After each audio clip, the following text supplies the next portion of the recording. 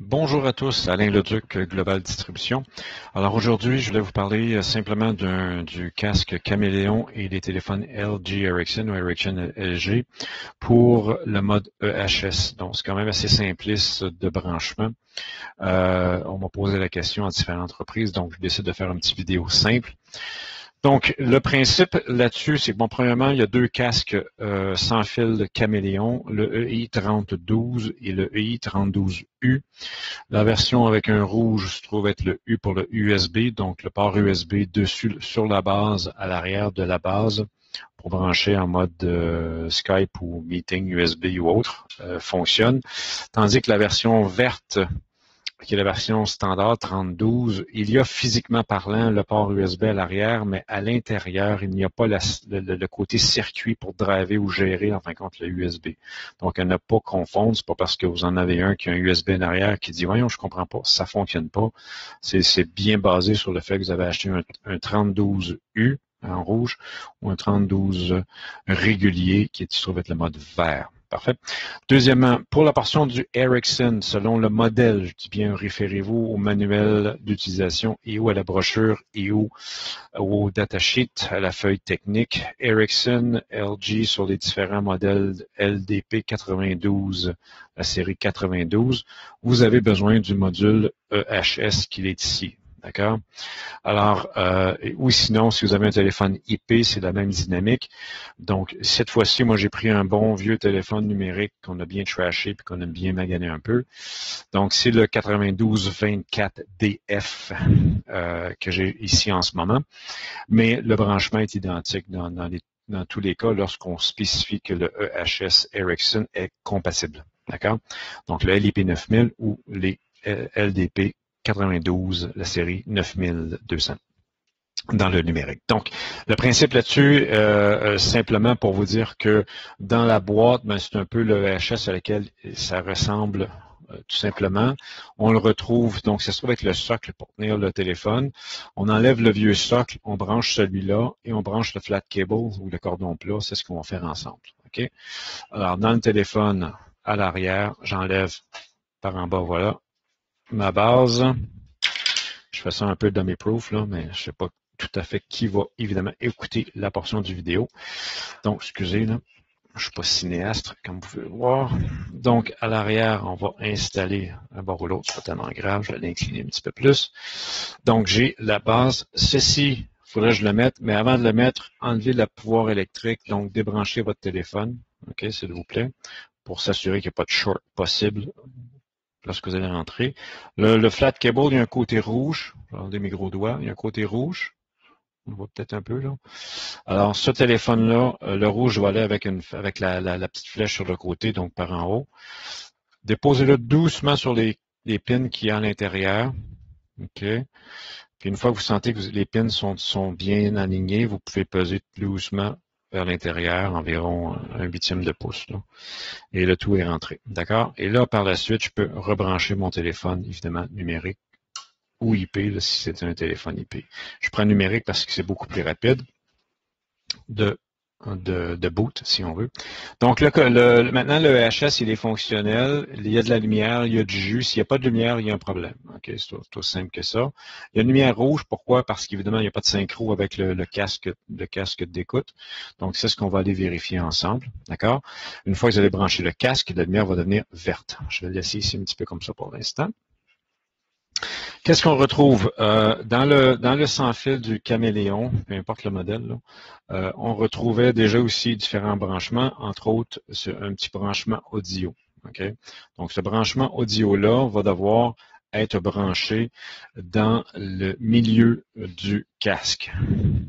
Vous avez trois branchements, il va aller ici au milieu. Voilà.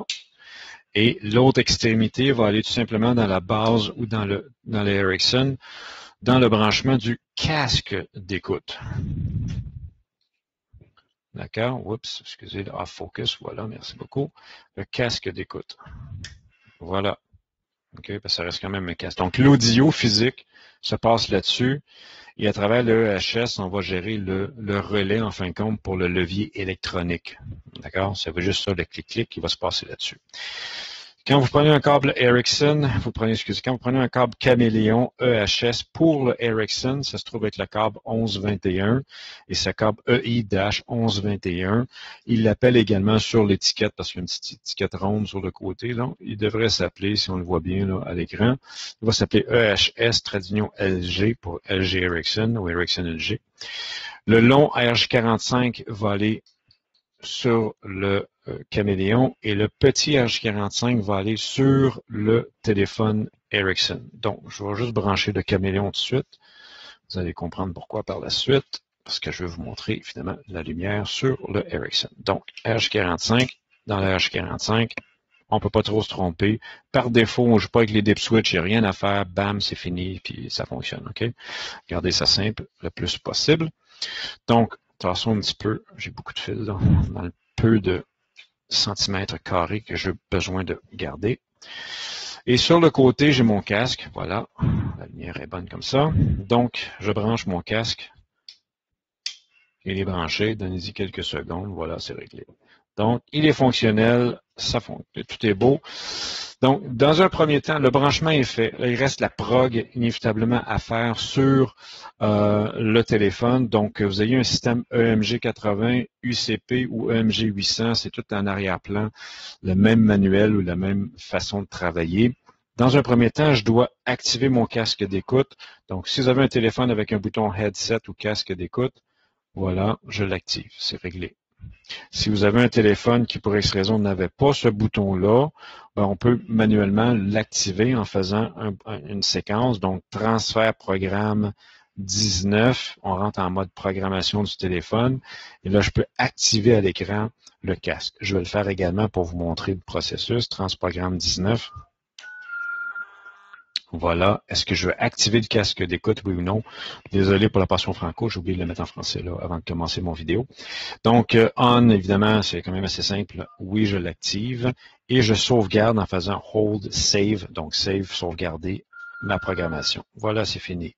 Et vous remarquez que mon bouton s'allume. Donc, que je le fais à travers Transprogramme 19 ou que je pèse sur le bouton, si j'en ai un, c'est la même chose. D'accord?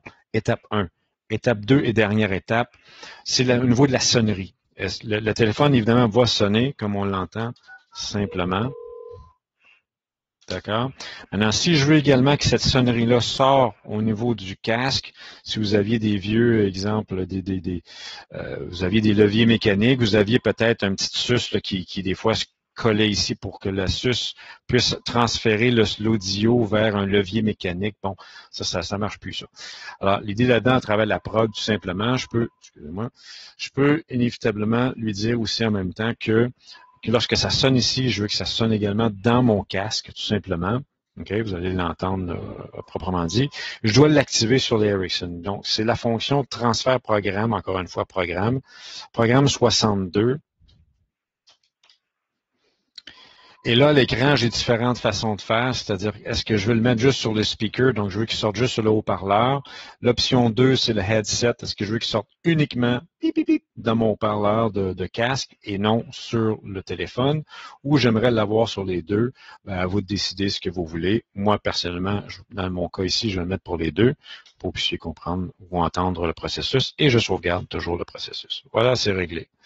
Donc, il est sur son socle. En décrochant, il va décrocher le combiner. Je ne sais pas si on va bien voir. J'essaie de cacher un peu de lumière, là. Peut-être comme ça. À cause. Donc, je